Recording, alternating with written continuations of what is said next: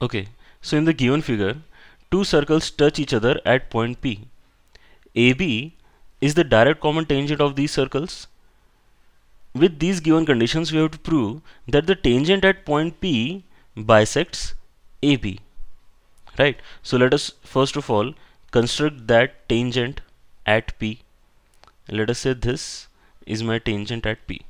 Right? Okay. So now we have to prove that this tangent is bisecting AB. So let us take this intersection point at C. So basically we have to now prove that AC is equal to BC. This is our target to prove. Okay. So now what can we do? We can just change the way we are looking at this figure, right?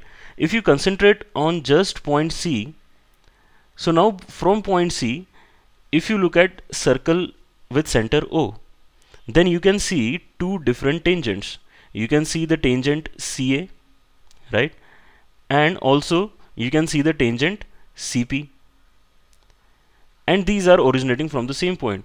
So we, we can apply the theorem that tangents from external point are of equal length, right?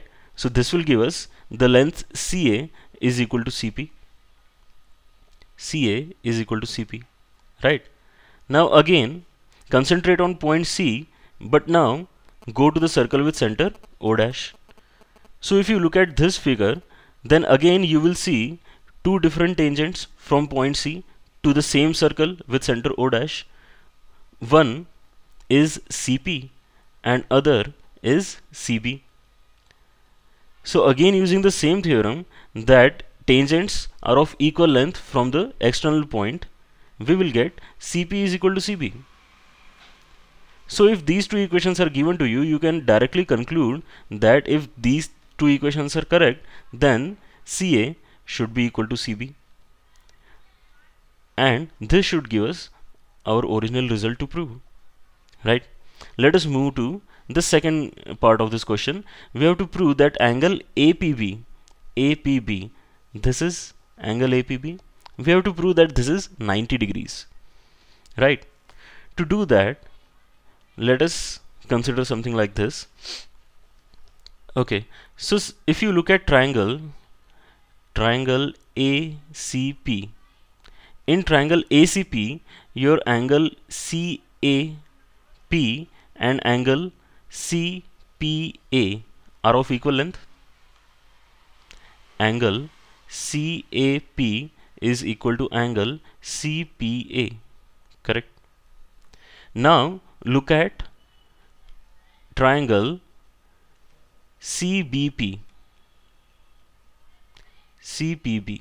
Okay. In triangle CPB, again two sides are equal which means that this is isosceles triangle. So again we can write that angle CBP is equal to angle CPB right? These two angles are equal right?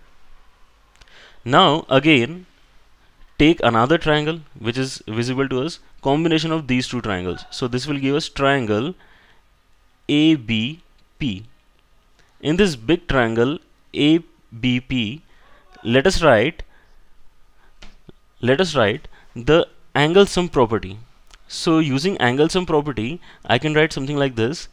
Angle PAB plus angle PBA plus angle APB is equal to 180 degrees right APB is what we have to calculate. So we should not change this in this particular equation, right?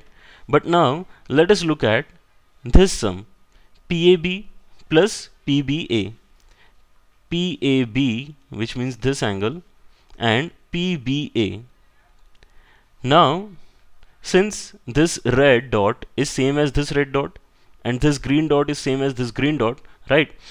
Can I replace PAB PAB with CPA correct?